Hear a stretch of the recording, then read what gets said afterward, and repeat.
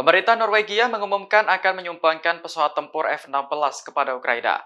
Langkah ini mengikuti jejak Belanda dan Denmark yang lebih dahulu memutuskan untuk memasok gift dengan jet buatan Amerika Serikat tersebut.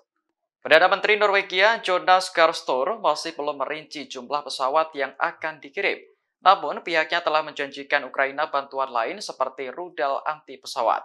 Store juga sempat bertemu dengan Presiden Ukraina Volodymyr Zelensky pada Kamis 24 Agustus.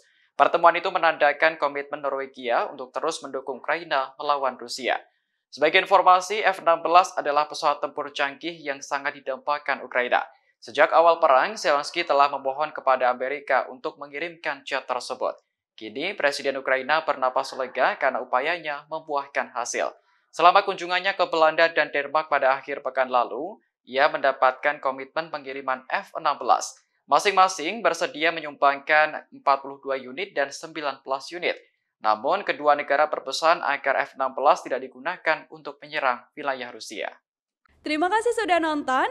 Jangan lupa like, subscribe, dan share ya.